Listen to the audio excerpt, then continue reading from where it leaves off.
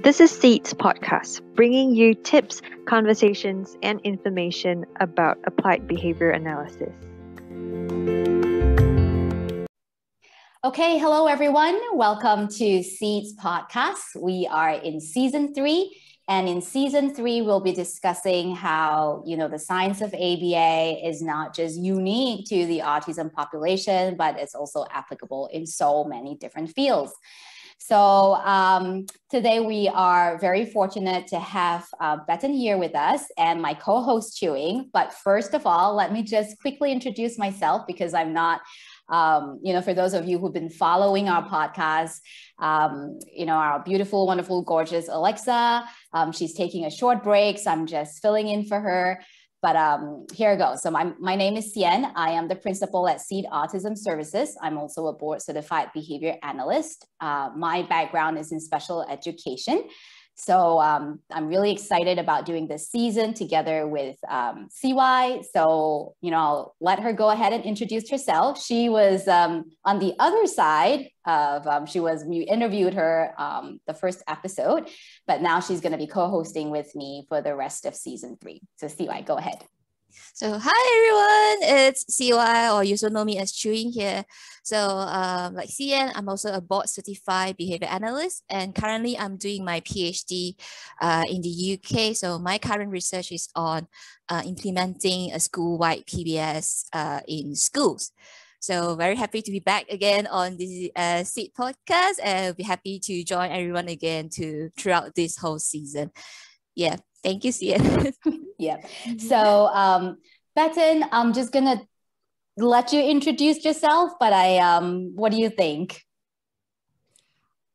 Certainly, I'm more than happy to do that. Hello, CN. Hello, CY. You know, CY and I are old friends and have been for a couple of years now. I am Bethan Mair Williams. I am a speech and language therapist, and I am also a board certified behaviour analyst, and I run a clinical excellence network for speech and language therapists with an interest in ABA, and that is under one of my professional bodies, the Royal College of Speech and Language Therapy. So I do lots of things. I also work for Queen's University Belfast as an MSc dissertation supervisor and work the length and breadth of Britain and indeed anywhere else where someone will have me. Thanks, Bethan. You sounds like you wear a lot of different hats. There's lots of interesting things going on, and I think, um, like uh, like you, my my remit is to hopefully make people understand that behavior analysis ABA is uh, it, it's not it's not a therapy, it's not a specific therapy, but it's a set of scientific principles that will in fact in fact make whatever it is that you aim to do be even better. So what being a behavior analyst has done to me, I hope, is that it's made me become a better speech and language therapist and to deliver better services to people with communication issues, irrespective of their diagnosis. Oh, oh, that's really great. So, Bethan, do you mind to also tell us a little bit more about how do you started all this journey? Like, do you started as so? What makes you want to go into like speech and language pathology, and what makes you want to pursue a BCBA? So, how did it all started? Like, tell us more. Well, I should warn you from the start that speech and language therapists like talking very much, so you may have to cut a lot of my rambling anecdotes, but. Uh, briefly, uh, I grew up in Zambia and Papua New Guinea, and as I mentioned to you uh, women earlier, I've spent a lot of my time in Malaysia, going back and forth while I was in the Pacific. We we're a, we are in a family who speak English and Welsh. So even though we lived in Papua New Guinea, we always spoke Welsh to our father. Papua New Guinea is a very diverse country, has 700 languages, so it was no big deal to be bilingual in Papua New Guinea. I think that started my interest in language in general. Um, then I became a speech and language therapist and enjoyed that very much and did that for a, a long time but always felt there was a piece missing. I always felt that we were very good at understanding uh, the developmental trajectory of language and that we were good, well-meaning people, but there was something missing. And I think what was missing was what brought me to um, ABA. What actually happened, I'm based in North Wales and Bangor University was the first place in Europe to offer an MSc in ABA. And I'd, I'd heard about, i I'd been using a speech and language therapy intervention that I'm sure a lot of you are familiar with, PECS, Picture Exchange Communication System. And I took to it instantly. I took to the fact that there was a clear protocol, there was a clear strategy, it was replicable. I saw dramatic results. And when, um, but I didn't realize that was ABA. I had no idea. But when, but when Bangor University started their MSc in ABA, I was in contact with a couple of colleagues there, and I brought them into one of the schools I worked in to look at um, the work I was doing with PECS. I said, I'd really like you to help me evaluate this. And they said to me, you might be interested in the MSc in ABA. And I did it and it, it changed my life both professionally and personally because I am a mother of two children and one of my children had community has um, still has communication issues and that was apparent to me from when she was about three or four. And I knew even what was very difficult even as a speech and language therapist I knew I didn't have the skills I needed to really help her. So as I was doing my MSc I, I realized that this could help the children and the adults that I work with, but also my own child. And uh, I, it has made, I couldn't even begin to tell you the enormous positive changes it has brought to my family, my daughter, and many, many people that I work with. So that's why I'm here.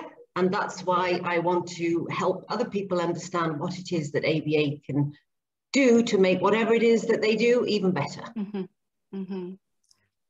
Oh, oh, that's really nice and really nice to hear that how you know your your experience and how the knowledge in ABA and, and also in speech and language pathology has helped you not only with your clients but also your own family and your own life as well. So that's really good. So can you also tell us a little bit more? So so how is it like to you know have dual credentials you know like how does this uh, your knowledge in both field has helped to like complement uh, each other in regards to your job you know um, how does this influence your approach you know to work with your client and that sort of things well, it was really interesting because I, I was the first person in Britain to be duly qualified. Um, so I had to forge my own path and I, and I had to work out how to do everything that each regular, regulatory body needs me to do, how to combine the two, and also how to support other people um, who wanted to go on that path. We currently have six duly qualified um, professionals in the States, three of those, sorry, in, in the UK, uh, three of those I have supervised directly. There are seven, but one has gone back to, to Ireland where she's from originally. So there are currently other people who are training. In terms of how to bring those two worlds together, well, that in itself I could talk about for a week, but I won't, you'll be glad to know. Effectively, what, as a speech and language therapist, what you're learning is, as I mentioned earlier, um, a developmental trajectory, how language develops and language taxonomies, different parts of language, this very traditional way of looking at language, looking at semantics, what words mean, phonetics and phonology, the sounds in words, um, morphology, how words are put together, glued together. So that's the way you look at that. And there are various language theories. So it's driven by, by, by theory. So one of the theories, for example, is that we have a language acquisition device, which rather woolly thing, if you like, that we, we have this LAD and it helps us acquire language, but it, it's not explicit in the way that we would expect as behavior analysts. Now, what a behavior analyst done it does clearly, as, as you both know, is we are underpinned by the seven dimensions of applied behavior analysis. And what we look at essentially is the three-term contingency, the antecedent, the behavior, the consequence. Behavior is reinforced by its consequences. And when I speak to people who don't know much about behavior analysis and who clearly don't want a long and boring lecture on it. But what is behavior analysis? What we say is behavior analysis is essentially good teaching. It's about breaking things down into their component parts. It's about using reinforcement to make sure that someone enjoys what it is that they do and does it again. And thirdly, that we take data on what it is that we do. And if it's working well, we carry on. And if it isn't, we have a rethink. So bringing that bringing those underpinnings of behavior analysis to speech and language therapy, I think it's it should be clear to see that all what that does is makes whatever it is you're doing as a behavior as a speech and language therapist better. The, the thing for me was a, a, a huge revelation, and, and, and I'm clearly when we do a podcast, we're dealing with many different people who have different levels of, of knowledge and different levels of motivation. But we talk, as, as you will both know, we talk about mands and tacts. In the world of speech and language therapy, we would call that re um, requesting and commenting. So we know that small children uh, will will ask for things that they want. They'll ask for they'll ask for a ball, perhaps because they want to play with it. But later comes this really important step where they will comment on a ball, not because they want a ball, but because they want to share that pleasure. You, I'm a human, you're a human, and I want to point this out. It's of mutual interest to us.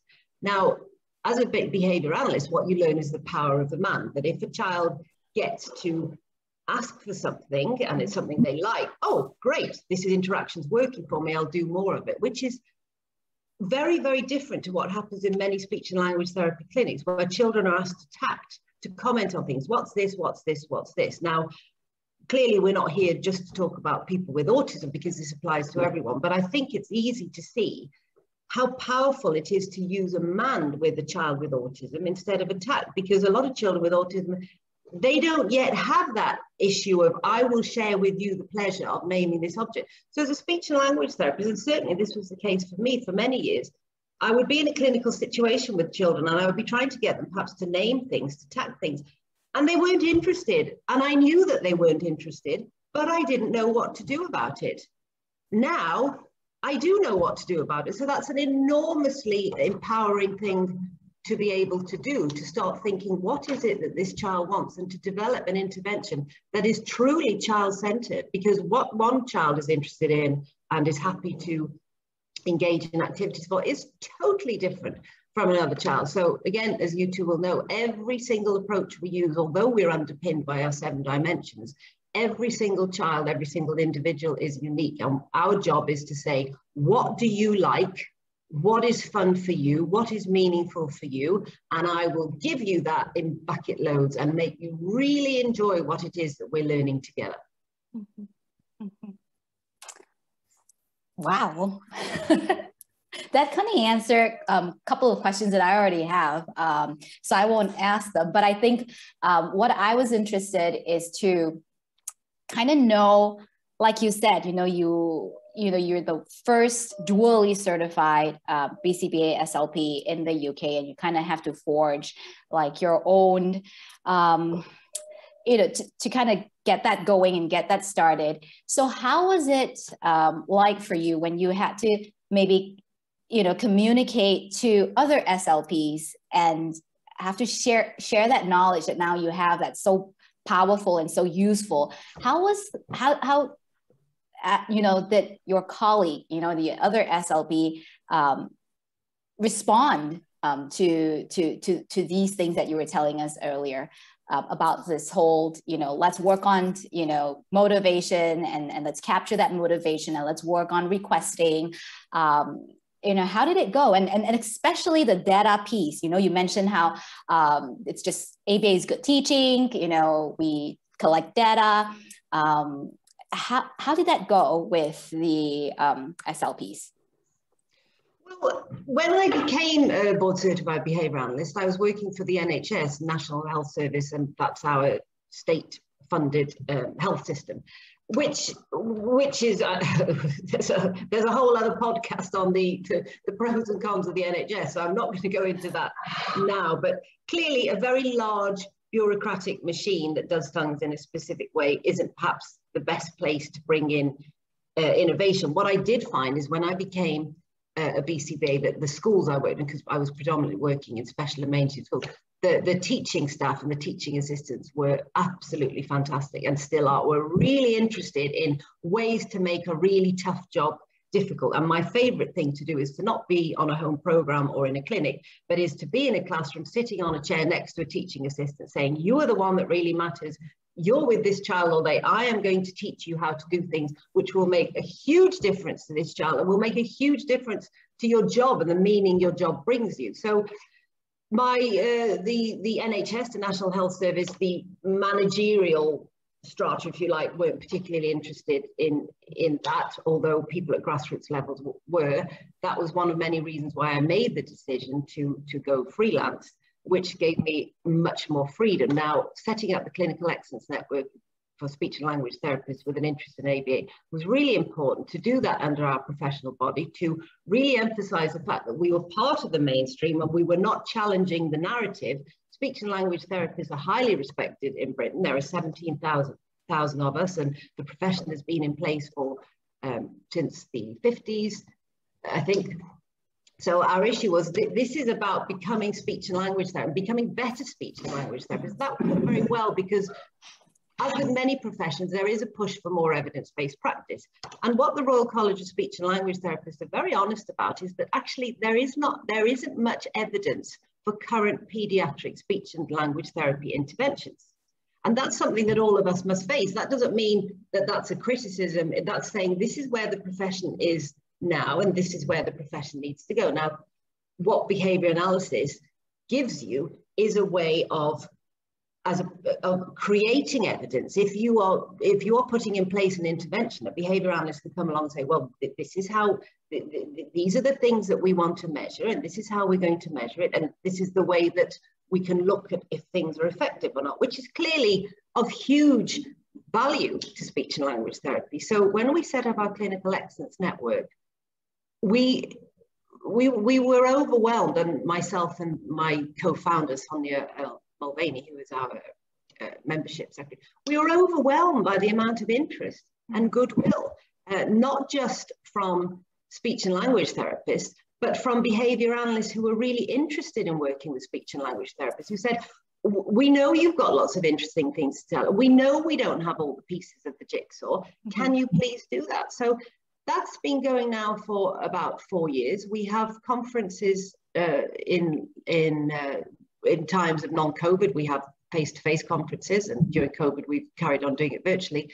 We meet in London at the Royal College of Speech and Language Therapy headquarters every March, and we meet in Manchester every um, September. And our our face, we have a closed Facebook group, which is indeed open to anyone who's a registered behavior technician or above. So we have members from all over the world. And we have vigorous, honest debates. You know, quite often speech and language therapists will say, what is it that you lot do? And we will explain. And in the same way, we will turn around, so behavior analysts will turn around, why do you do that? So it's been open, it's been honest, it's been courteous. And we, and I, as a supervisor of people who are training to become BCBAs or people who are doing their MSCs, I will always say to them, if people challenge you, enjoy it. That's the intellectual and professional challenge of our of our profession. We need to be able to explain what it is we do because if you don't, if you're not, if you're not a behavior analyst yourself, a lot of what a behavior analyst will do might not seem clear, but that's an invitation for the behavior analyst to, to explain it. So that's been really positive. Our, our, the Royal College has been incredibly supportive of us. They've written up a couple of things um, in, in, our, in our professional magazine that we, we've done. Also, the uh, Queen's University, I work for in Bangor, they will send students my way who have particular interest in what behaviour analysts call uh, verbal behaviour, what speech and language therapists call communication, speech, language and communication needs. So we have, um, my students have produced a couple of uh, dissertations on um, the different ways that speech and language therapists and behaviour analysts um, assess children. So that's a really interesting one. Another one is of attitudes uh, within professions to each other. And I am making more um, professional links with other duly qualified staff. Uh, one of the people that I'm doing quite a lot with at the moment is a duly qualified, well, she's, she's not a BCBA, but she has done her MSc in ABA. She's an academic occupational therapist called Aditi Mehra, and she actually does a podcast called the ABA and OT podcast with Mandy Mason, who's a BCBA based in Perth in Australia, Aditi's in uh, Chicago, and I am going to be a guest for them in a couple of weeks talking about this very thing because Aditi is doing with OT and ABA exactly what it is that I aspire to do with speech and language therapy and ABA. I'll have to check that out because as I was preparing for this podcast, I'm thinking, I don't know if I know of anyone that's dually certified. And maybe that's because my circle is just so small, but like OT and um, BCBA, I, I, I think I felt like that you know, SLP, BCBA, I think, you know, we're gradually building up the number, but then with BCBA and OT, I don't know. I, I think it's it's good to hear that that's someone out there, and I'll definitely check out the podcast. It, it's great, and uh, two incredibly engaging, interesting, uh, very able women who who who who offer a really clear and straightforward explanation of those things. We do actually in Britain have two duly qualified um, uh, people who are who are OTs and uh, BCBAs. Um, and there are there is I think well I know there's at least one there might be two but there is one amazing person who is a BCBA, a speech and language therapist, and an occupational therapist. And you know, in wow. my more ambitious moments, I am sometimes tempted to train as an OT because they do fabulous stuff. But I don't know if my husband or children could put up with that. Okay, so um, oh, I have so many questions in my head, and I'm trying to like arrange them and and think about how do I, okay, just give me a second. Um, okay, let's just talk about, all right, the Malaysian context a little bit. Let's just do a quick shift and just talk about Malaysian context a little bit. Now in Malaysia, um, if a child, things have improved tremendously, right? So now um, kids are identified a lot earlier. Um, they get intervention a lot earlier. Um, you know, but the, the common um, recommendation, and I'm going to just speak from, you know, because I work with the early learners with really young population who um, usually are diagnosed with autism. Uh, the recommendation given by the developmental pediatrician is usually okay, you know, so your child has autism, so go find an OT, an occupational therapist, you know, go get um, speech services. Um, and then in recent years, they start to recommend ABA as well. So that's good progress, I guess, um, for us. So now when um, when I get call, you know, from parents saying, okay, so you know, I was told to do one of you know these three things. You know, so you you come up as an ABA service provider. So my question is, what do you do? So after I explain to them, okay, this is what you know services would look like for a really young learner, and this is what we do. And then they say, well, that sounds like what you know my child is doing with a speech therapist you know um, it sounds like you guys are targeting um, very similar things um, you know like the vocalizing or um, requesting or playing and engagement and um, social referencing and all that kind of stuff. So then they ask, because of course cost is an issue. Insurance is not available here in this part of the world. So then they'll ask questions. So which one should I do first? Because it sounds like it's so similar. Um, should I do ABA? Should I just stick to speech? You know, what should I do? So, you know, in in your professional opinion and experience, um, what are some of the things that you know you typically you know talk about, or you know, if you're in a in such a conversation with parents, what would you say to the parents? I think that's an excellent question and, and summarizes the very scary situation you find yourself in often as a parent. And one of the metaphors I, I use is it, it's like you're on a roundabout and it's going round and round and you're seeing people go, choose me, choose me, choose me. And your gut feeling as a parent is to do everything that you can. And I have been there myself where you go, I'll bring in this person, I'll bring in this person, I'll bring in this person. But what that means is two things. First of all, as a parent, you end up project managing an entire interdisciplinary team at a time when you're probably the most stressed you've ever been in your life and you're desperately worried about your child. So that's the first thing. And the second thing is, do, do people come at the presenting issue, which is the child with a communication disorder or, or, or delay or, or issues around learning and cognition, do they come at it with the same scientific underpinnings. Now, the, the, the fact is that quite often they don't. So, and I and I I generalize hugely here, but one but one of the issues you might find is that an occupational therapist, and I emphasize I work with many of them and have done several research projects with occupational therapists, but some might talk about sensory seeking behavior and that children need a, sensory diet or access to uh, various chewy toys, wobble cushions, weighted blankets. Now, that's that's their theoretical perspective. As a behavior analyst, that's a difficult one to deal with because what you're having to say to parents is if you do that, you're allowing your child unconditional access to reinforcement and it might not even be reinforcement. In fact those things might serve as escape and avoidance. So and i'm i'm currently having one of these conversations with a family i work with and the ot and i are working together and really helping to see where that's coming from. So it's working well but you you have you have to be able to say so that's the first thing. So ot might do that.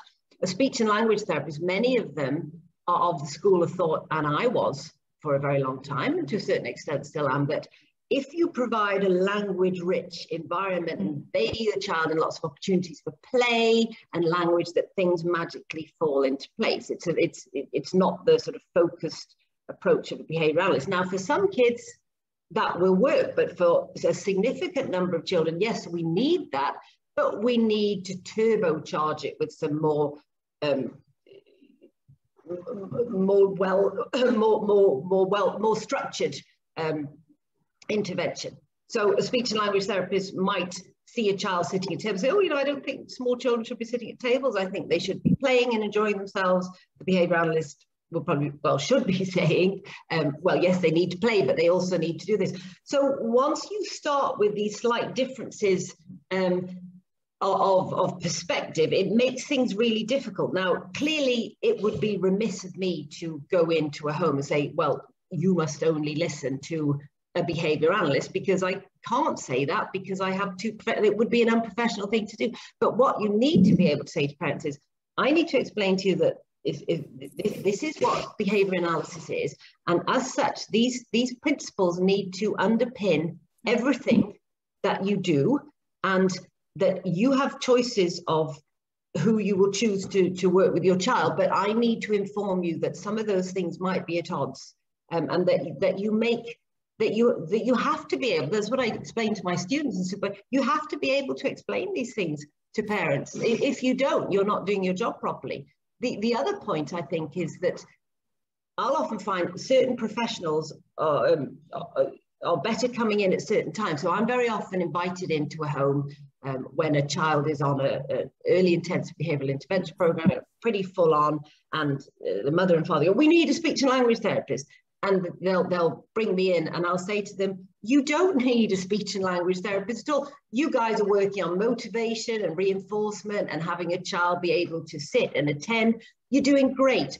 But I'll tell you what, once you've moved past the mands and the tacts, um, a speech and language therapist might be but that might be a good time to come in and say, right, well, we've got a child who's commenting and requesting, manding, tacting. Where are the language steps we go for next? And as you both know, you would you would complement that with an assessment such as ABLLS or VB-MAPP or the other um, useful, well, there are many useful ways that all professionals can help, but certainly something I've been doing a great deal recently is when you have children who are starting to work on speech, um, the, the behavior analysts don't realize, and why should they? Because we can't know everything, that speech production is a highly uh, rule governed system. Every sound in the world is um, it has three dimensions. So uh, laryngeal function, voice we call that, place in your mouth where you make it, and the manner in which you make it. And what speech and language therapists are really, really good at is this real understanding of what we call phonetics and phonology. So understanding how sounds are produced, what, what sounds are easier to produce than others, depending on the language you speak. That would be very different if you were speaking Malay or, French or, or, Welsh in my case or English.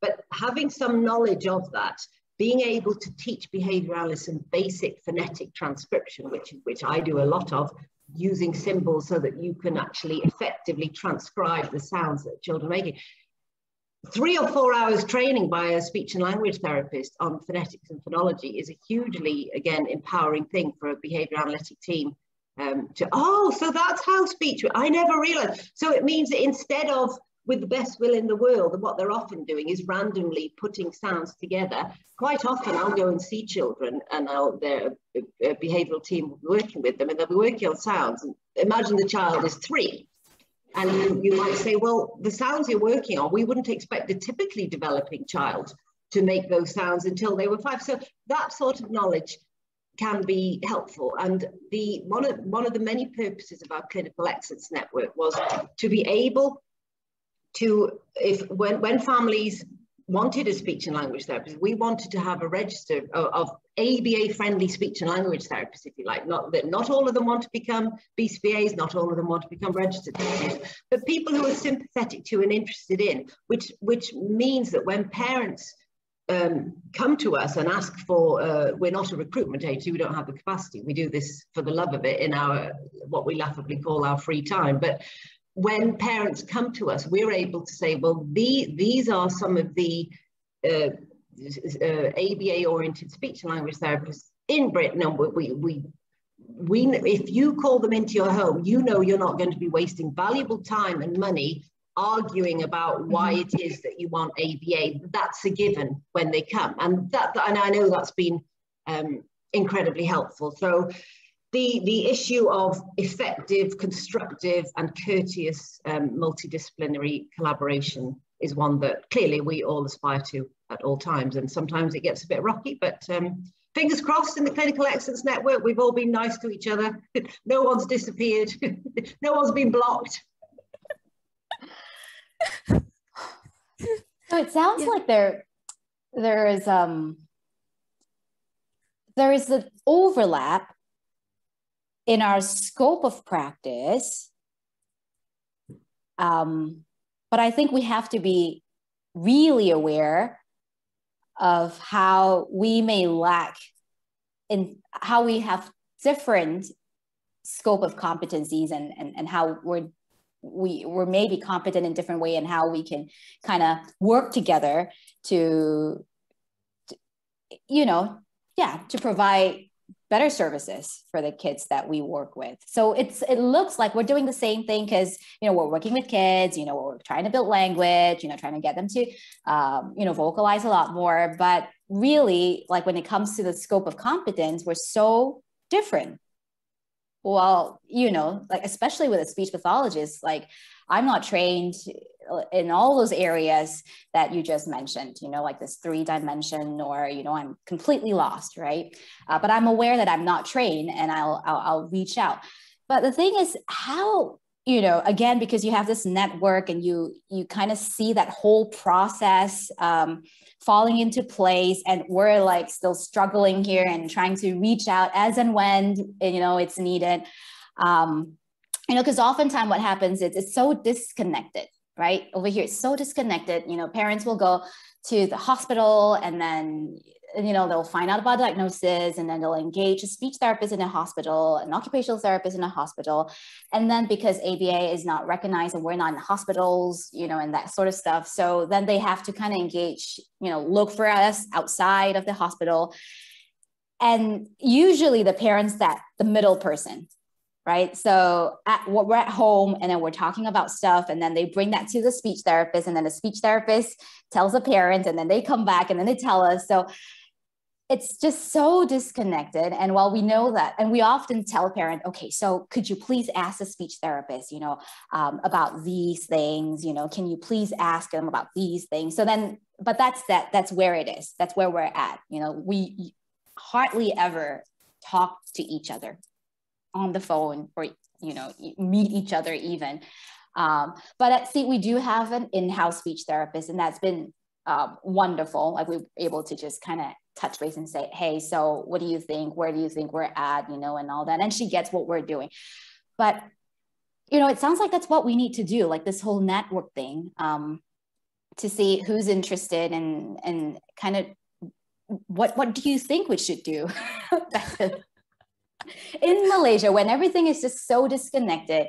Um, I mean, I have a lot of respect for speech therapists. I've worked with a lot of really, really excellent speech therapists, and they've been really open too, you know, to to us coming in and and sharing ideas and listening to them and and all that. But it's just right where we're at right now.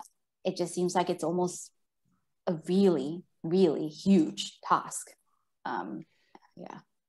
And, and I sympathise and agree, and I certainly wouldn't want to give the impression that everything in Britain uh, works wonderfully and it's seamless because because it's not, and I don't think it is anywhere. And I can tell you that categorically because I work in other contexts. I've, I've worked for several years with American military families in the UK. So we're having to follow their entire system of how they organize services and bill. And believe you me, that's that's tricky. Um, and uh, I, my husband works in international development, so he works all over the world. So I'm often with him in different countries and wherever I am, because I'm often there for quite a while. I usually find out what's going on and say, can I lend a hand? So I'm currently involved in some ongoing projects in Botswana, where my husband was for a while, where in Botswana, which is a huge country, they've got um, they had when I was there full speech and language therapists for the whole country. But and I was working in a school where they were interested in ABA, so you can imagine the task in front of them. The, the, the point you make, I think, is a really interesting one. We we're often the, this disconnect between um, what we might call medical issues, educational issues, social issues, and certainly in Britain, a lot of speech and language therapists do work for the NHS, which means that essentially you're working on a quasi-medical model, and clearly the issues of the children we work with they're, they're not they're not medical issues they're educational issues. Yes i understand that you often have to access a pediatrician for a diagnosis but after that um, so as you say putting all these pieces of the jigsaw together the the without uh, doing it seamlessly and without um, disrespecting or undermining someone's professional background which i think is always an issue. Uh, and but I think also that's an issue for any profession. Uh, when I walk, I, have worked in schools for 25 years. I've been to hundreds of schools, and however however pleasant and engaging I try and be, whether I'm a speech and language therapist or a board certified behaviour analyst, the issue is very clear. You are in there because someone thinks that what's being done isn't good enough and mm. needs to be done better. It's the equivalent to someone coming into my house and running their fingers around my counters in my kitchen or checking that I've cleaned my toilet. So there's, a, there's an invasiveness about it. So particularly as behavior analysts, I think we have a responsibility as the newest kids on the block to be um, be humble. Mm-hmm. Uh, and, uh, uh, and, I think when you become a behavior analyst, because it is so powerful, it's so life changing. There is there is a tendency to go, "Wow, this stuff is great. I, I know this stuff that other people don't know, and I'm going to tell them about it." But that can come across as arrogance. So as, as a behavior analyst, the best thing I think you can do is to be going to people in more established professions and saying to them, what is it that you want this child to do or you need this child to do? Tell me so I can help do that because that is essentially the job of the behavior analyst. That's what I found so liberating about it all the woolly ideas of things that I wanted to do as a speech and language that I would like this child to be doing it, and I couldn't really put it together. Once I had the skills as a behavior analyst, I literally had the tools. So other professionals love it. OT, speech and language. I say, the child, these are my aims. The child needs to do X, Y, and Z. I always say to them, mm-hmm. get the BCBA to do your work for you. That's what they're there for. Go and tell them, and they will put together a program. They'll sort out all the stuff about um, data collection and baselines. And then when you tell them that, they go, oh, right, so they're going to make my job easier. Yes, that's the whole point, as opposed to seeing yourself as a standalone. And, and I work an awful lot with music therapists now. They're, they're, they're in terms of ABA music therapies, a lot of people would say they're very different worlds where the music therapists are very organic and creative mm-hmm. and no uh, data collection. They don't want to see horrid graphs and charts, and they think things like that are creepy and they're impinging on an interaction. But if you, as the behavior analyst, say, which I do with a lot of my clients, I love music therapy. I can clearly see the changes it makes. All we need to do is measure the changes. So the changes are going to be simple things like, can we measure how many times this child is looking at you? Let's compare it from session one to session 10. How many mands is he using? How many tacts is he using? How many physical approaches? And when you start doing that, music therapists go, well, this is great. Basically, you're giving me proof that what I do is really working, which I knew anyway, but I didn't have proof. So like, job done. Who isn't happy with that? Right. Instead of saying that, well, you're not evidence based and therefore we shouldn't be doing that. Um, you know, it's funny how we think about this and we say, um, "Oh, it doesn't work," but everyone in the everyone knows that music changes moods and change you know people and how we feel, and it's so funny when, well, you know, or like Lego therapy. I don't know if you've heard of that, um, Bethan. Um, so I think it's just more trying to figure out, you know, how to make it work for the child? You know, how can we make this, um, you know, again, going back to the seven dimensions, making sure that um, everything that we're doing it's back to the principles you know it's backed up by science and the approach is it could be music it could be blocks it can be i don't know anything really. Um, yeah. So that's it, you're so right. Sorry to interrupt. It's just something I'm so feel you know very strongly about. The one of the most useful things that I was taught, and and CY knows who I'm talking about, Professor Carl Hughes at Bangor, who has been a great influence uh, on me professionally and a, and a great friend. He always talks about the difference between evidence based practice and evidence making practice. Now, clearly, if everyone said there's no evidence, that we'd never do anything, we'd be stuck what you want to be doing is saying, oh, that sounds interesting. Let's see if if if we can is there evidence for it? And if there is great. And if not we'll we'll rethink that. And i think back to a project i did several years ago an msc project with an ot an occupational therapist in a, in a special school in anglesey. And and she was really up for it. And we we there were several interventions part of a sensory diet that we used and we measured their efficacy with with children and it, it, demonstrated within the context of that dissertation that it didn't make much difference. No she didn't she didn't sulk or get upset about that. She she was interested in it and thought okay well clearly there's things i need to uh, think about.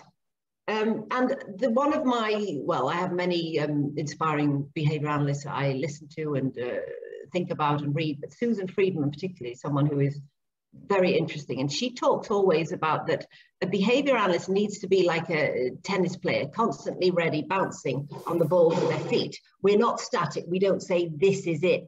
We say, this is the position we're in now. We might be here tomorrow. And I think any of us, when we explain Skinner's theory or, or, or, or, or ways of looking at uh, reinforcement and punishment, which I must point out that behavior analysts don't use punishment in that lay sense of punishing someone. Punishment, all it means is that we reduce the behavior, reinforcement means we increase the behavior. All of us would admit fully that the model is a very crude one at present, that we're working on quite a basic model and that things will change. And, and as an example of that, I spent Sunday with, with a homeopath now, a lot of behavior analysts might say, well, homeopathy has nothing to do with what we I, I, I went with an open mind. She invited me for lunch. I was very interested in what she had to say. I questioned a lot of what she talked about and she answered and was interested. And she was also interested in behavior analysis. Mm-hmm. But it's clearly neither of us shut the other one down. Everyone has something interesting to offer. And for parents who who who I work with who might say, oh, I don't want my child to eat this or that, or perhaps they they, they I don't want them to gluten or gluten or casein. You say, oh well, that's interesting. Now, if you if we want to if we want to see if that makes an effect, we need to design an intervention to look at behaviours and measure. And, that, and that's that's a big ask. Um, because it is hard work we, we know but i think going back to the point of behavior analysis it's there's no it's not a magic treatment wouldn't we all love to have a wand and wave it and everything uh, is, is solved instantly. Uh, nothing is. Um, so yes, that whole point of what is evidence uh, and, and, and if we don't have it evidence, how can we start building evidence for what mm -hmm. it mm-hmm. that we want to do? Because we, we owe it to the children that we work with. The clock is ticking. We cannot waste time doing things for children that aren't working. And we can do that in a polite and respectful manner and acknowledge that many of us, and are doing the best we can, but quite often are doing things that are not effective. And I put myself in that category very, very strongly. I look back at 15 years of work that I did and I tried my best and I worked really hard and I really cared for it. But hand on my heart, a lot of what I did was not effective. And that is not good enough for the people that I serve. Yeah. So like, like sorry, I'm, I have so many things in my mind. I'm like how do I put this? But yeah, I I certainly I totally agree.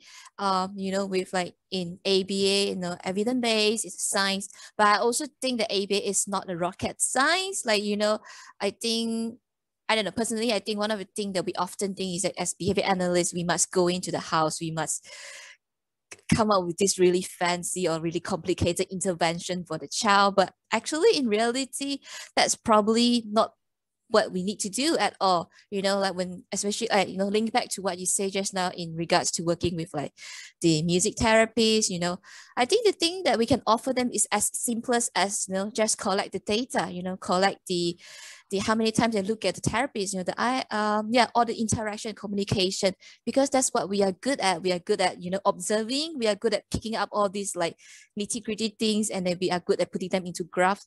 So i think that's another attitude that we can have as well is that you know everything that we can offer, you know, is not just limited to this really complex side of the ABA. We can offer as simple as just data collection or just observation. And like you say, put ourselves on the humble side, you know, be humble and learn from each other. And I think that's probably one of the one of the key, one of the tips to, you know, how to work really nicely and effectively with other professions in the field yeah. well, I, you know, CY B.F. Skinner, our founding father, would be so proud to hear you say that because, as you know, what he pointed out, parsimony, simplicity, needs to be at the heart of what we do. And I, perhaps it's because perhaps because I'm old and I've done this a long time, but I have no issues whatsoever with saying we just need to keep it simple. We'll measure this, and if they have I, I think because I have a foot in ABA and SLT, I feel that I can look at the, the, the strengths of each and the, the areas of need, if you like, of each. And I think one of the things I do see with many behavior analysts, particularly um, people who are new in the field, who are you, have to be clever to be a behavior analyst. You have to be very disciplined. You have to be hardworking. It's hard work to become a behavior analyst. Um, it's harder to study as a behavior analyst than it is trained as a speech and language therapist, for example. So they, they come in and they sometimes want to dazzle. And I always talk about the lever arch file of doom. You know, you can go into a house or, or, or a clinic and you, you see this enormous file. Now, again, I'm not scared what does it mean? What are you summarizing? And sometimes data collection becomes almost a fetish in itself. Um, and, and people, data, data tells a story, that's all it is. There's a story. What's the story? Tell me the story. And it does concern me sometimes when I see a team and I say, what does the data tell me? Summarize it for me. And sometimes they, they're so busy collecting data. Now, this is a really important aspect. And I will say to them, I'm looking at your file and I don't get it. I'm a board certified behavior. I don't understand what's going on. You can't explain it to me. So if you can't explain it to me or summarize it to me, what hope has a skeptical educational official or a head teacher or a parent or, or a grandparent who is funding some of this stuff and says, what am I spending my money on? What's going well? What are you doing? What's going well? What is it? So having the, the courage and the, and the discipline to say, do not just get involved in data collection for the sake of it. And more and more in my job, I have to say, it's going into home programs which have totally gone down a rabbit hole like that and saying, hey, hang on, this, this doesn't make any, any sense at all. Now, there's a whole other issue around collecting data. I won't even touch on that um, there, but yeah, keep it simple. Right. What's what's the acronym KISS? Keep it simple, stupid. Well, clearly I'm not going to say that to anyone, but that's that's what I'm saying to myself. or just have parsimony written in bold, you know, and everywhere. Yes. Yeah. Yeah. Yeah. Wow. So we've covered a lot of stuff, you know, um, but then we we hardly have to ask any question. You kind of just share with us everything that you know we want to know about your job as a speech pathologist as a BCBA and, and you've shared with us some tips on how to build bridges rather than burning them. Um, and I think my biggest takeaway would be, um, you know, just practice within your scope of competence. When you don't know, reach out, ask someone, keep things simple, start small. Yeah. Yeah. And um and you know, at the end of the day, it's it sounds like you're you know what you're sharing about your role as BCBA, it's and, and how it has complemented, you know, your um, the speech pathologist part of you is now you have a better way of teaching. Um, you know how to teach, you know the art of teaching, you're good at it, and now you can actually teach those skills that you have learned. Um, you know, in regards to um, what the kid should have, what the kid should learn. And so now you're able to get them to do it in a more efficient way. Yes, and, and, and thank you. I think that's a better summary of what I hope to to say to you than I could have possibly made myself. Uh, and, and I think the final thing is to say to those who are embarking on careers as behavior analysts, say, look, you, you, you, know, you learn about reinforcement, you learn about making things um, attractive or interesting to people. Well, the, that starts with you. You have to make yourself a pleasant, attractive, interesting person. And that's quite often as simple as um, when I have uh, students and they're going into schools, I say, you be the first one to get up and brush the floor. You go and wash the coffee cups. You ask if there's anything that needs photocopying. You establish yourself in our terminology as a conditioned reinforcer, where when you come in through the door, they don't think, oh, God, there's that mm-hmm. person with that file full of weird stuff I don't get. That, there's that really nice young woman or man who is here to make my life so much easier and for these kids to learn faster. Mm-hmm. Mm-hmm. Yes. Yeah. Oh, thanks. Yeah, thank you. Uh, I, do we still have any more questions? I feel like we covered everything. well, I kind of want to clone her and then bring her to Malaysia and then, you know, have her here with us. And that's that's what I have in my mind. I know that's not possible, especially with well, know, if, if there are any if there are any jobs going in Malaysia, I'm telling you, I'm on the first plane out of here because I couldn't think of a nicer place to be. I love Malaysia. I just think everything about it is absolutely wonderful. So yeah, Yay. bear me in mind. yeah. All right. So thank you. Thank you so much, um, Bethan, and thank um, thank you for sharing with you know our audience here in Malaysia. I'm sure they got a lot out of it. We will have parents listening. We have professionals. I'm sure we have speech pathologists listening, and a lot of BCBAs or aspiring BCBAs listening to our podcast. So thank you. Thank you for sharing with us all that you know, and I'm sure you have a lot more to share. So hopefully we can get you back next time. Thank you so much for having me, CN and CY. It's it's a great pleasure. And like I said to you, speech and language therapists have no issues talking. That's what we love to do. But I hope it was helpful. And if anyone has any uh, questions or additional things that, that they would like to ask me or, or directions in which they want to be pointed, um, I'm sure that CY you'll coordinate that and I'm, I'm more than happy to help. I know how I know from being a parent myself in that situation what a really, really scary uh, time it is. And I also know how many good professionals there are, how many young people there are who are really changing the face of what we do. So it's very exciting to be to be part of that. Okay. So thank you. Thank you, Bethan. Take care. Stay safe.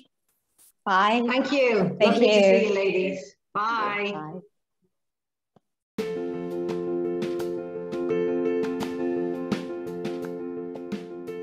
That was Bethan sharing with us her experiences as a board certified behavior analyst as well as a speech language pathologist. Once again, we thank Bethan for joining us at Seed Podcast.